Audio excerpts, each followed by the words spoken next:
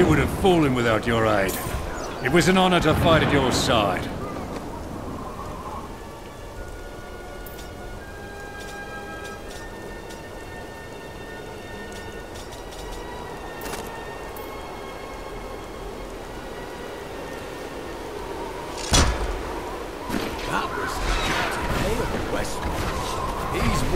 Hundreds of lost causes all over the world. I heard the king